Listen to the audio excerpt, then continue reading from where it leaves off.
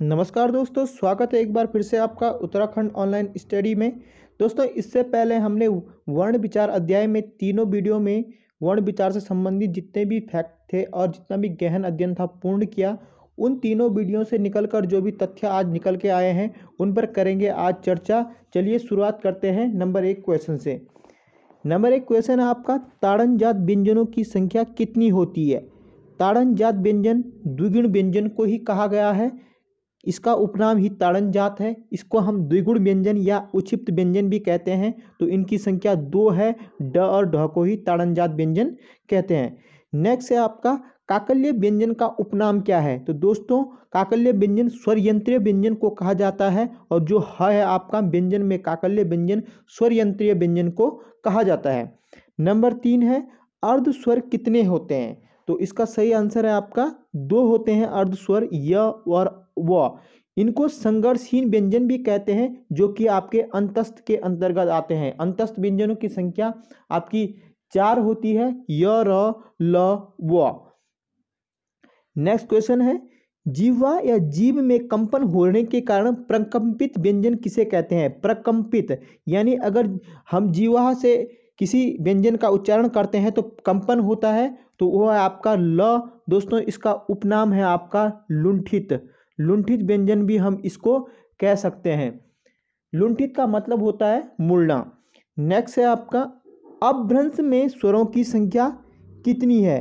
दोस्तों अपभ्रंश में स्वरों की संख्या आठ थी, ए और ऐ स्वर बाद में जोड़े गए। तो इस तरह से ये क्वेश्चन हमारा यह है कि अपभ्रंश में स्वरों की संख्या कितनी थी? तो आठ। कौन से दो स्वर बाद में जोड़े गए? ए और ऐ। संधि स्वरों की संख्या कितनी होती है?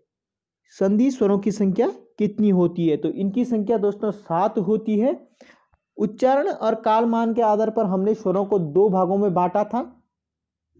मूल स्वर और संधि स्वर।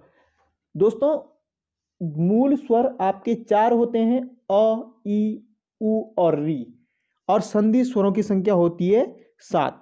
संधि स्वर वह स्वर होते हैं जिनके बारे में हमें उसका उद्गम का ज्ञान हो या जिसके हम सार्थक खंड कर सकते हैं। इन्हीं संधि स्वरों को दोस्तों हमने दो भागों में बांट दिया था। एक आपका मूल स्वर हो गया था, सॉरी, आपका दीर्घ स्वर हो गया था, दीर्घ स्वर, और एक हो गया था आपका संयुक्त स्वर। दीर्घ स्वर वह स्वर होंगे जिनके जो दो समान स्वरों से मिलकर बनेंगे, जैसे आ हो गया, आ स्वर आपका दीर्घ स्वर होगा तो आ मिलकर बनेगा अ प्लस अ से। इसी तरह से दीर्घ स्वर दूसरा आपका बड़ी ई होगा, ई प्लस ई से मिलकर बड़ी ई बनेगा और नेक्स्ट होगा आपका ऊ जो ऊ प्लस ऊ से मिलकर बनेगा। तो दीर्घ स्वरों की संख्या संधि स्वर में कितनी हो गई थी? दीर्घ स्वरों की संख्या आपकी दो हो गई, तीन हो गई थी।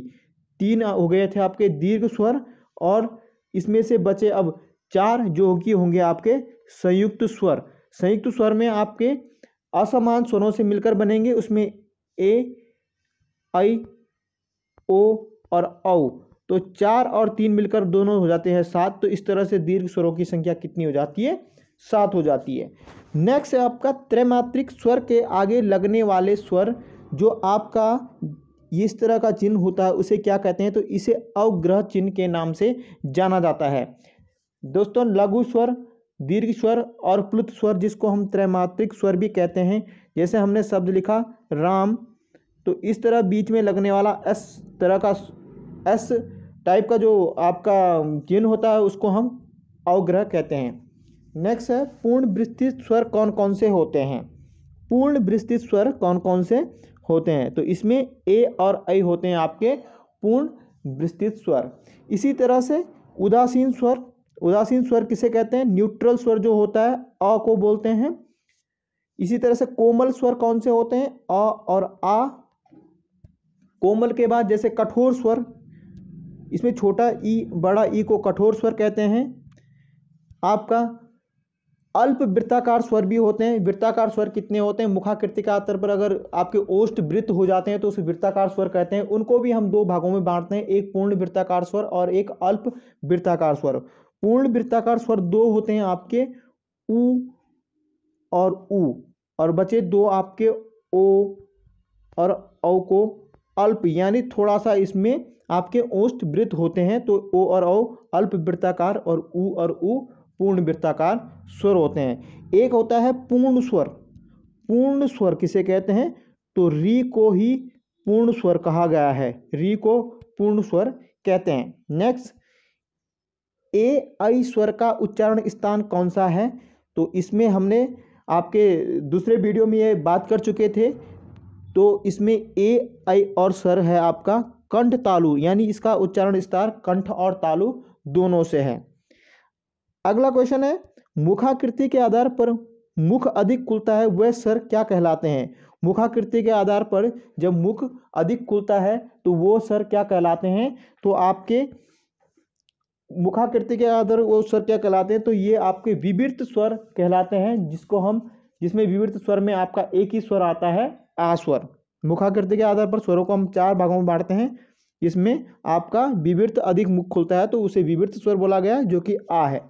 अगला क्वेश्चन है, जीवा के आधार पर मध्य स्वर कौन सा है? दोस्तों, जीवा के आधार पर हम स्वरों को तीन भागों में बांटते हैं, अग्र स्वर, मध्य स्वर और पश्च स्वर।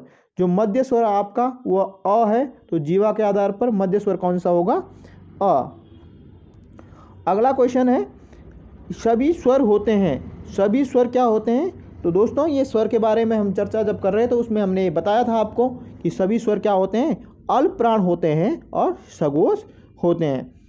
नेक्स्ट वर्ण विच्छेद हम पूर्ण कर चुके थे। उसमें भी हमने यह चर्चा करी थी किस तरह से हमने वर्ण का विच्छेद करना है, वर्ण को तोड़ना किस प्रकार से है, ताकि आने वाले जो नेक्स्ट चैप्टर होंगे आपके वर्तनी शुद्धि में, उसमें हमें इसकी बहुत ज़्यादा मदद मिलने वाली है।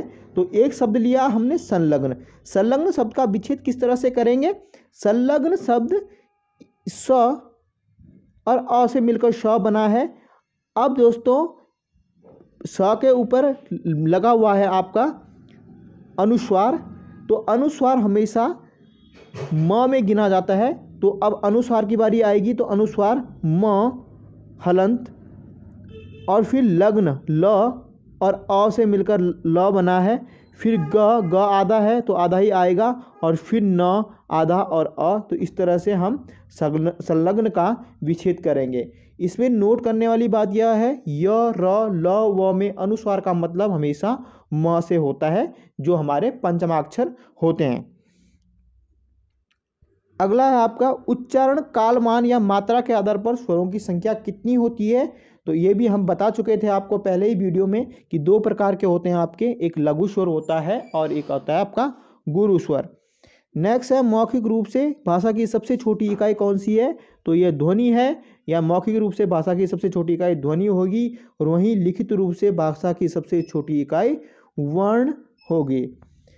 अगला क्वेश्चन है, हिंदी वर्णमाला में मात्राओं की संख्या कितनी होती है? तो हिंदी वर्णमाला में मात्राओं की संख्या होती है दस, जिसमें अ को नहीं गिना जाता, अ मात्रा विहीन होता है। तो धन्यवाद दोस्तों, आपको मेरा वीडियो कैसा लगा? लाइक करें, सब्सक्राइब करें और कमेंट करना ना बोलें